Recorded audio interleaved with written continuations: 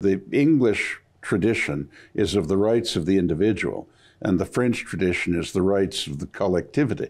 See, to the French mind, uh, French Canadian mind, traditionally, it was nonsense to tolerate anti democratic forces. That's why Duplessis used to attack the communists, for example.